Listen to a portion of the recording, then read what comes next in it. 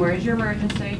So the most common way that individuals would contact 911 would be to simply pick up the phone and dial 911 and communicate with the operator that's on the other end. Rutgers Police.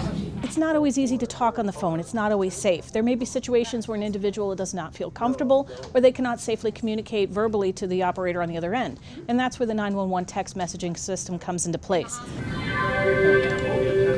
The message comes into the center on a dedicated computer that is just dedicated to the 911 text messaging system. That alerts us that there is a text message coming in. This 911 text system is a feature that should not be used all the time. We still prefer talking on the phone over texting. It's going to take longer to get the correct information over text than it will by via phone. But you can use this system if you physically cannot pick up the phone and call 911. If the individual is hard of hearing, they don't have a TTY machine, they can communicate via text message to convey the situation, what services they require, and any other help that they could need.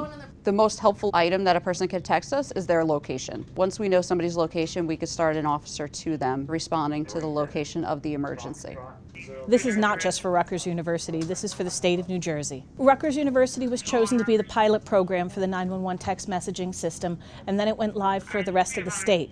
We service all of Middlesex County for the text messaging system, as well as the Rutgers community. So the end goal of bringing this service to the entire state of New Jersey, as well as the Rutgers community, is an added benefit of safety, another way of communicating and getting help to where they need it. So overall, it's an excellent system for the state of New Jersey to have. Okay, just stand by there. I'm gonna send her back out there to help you, okay?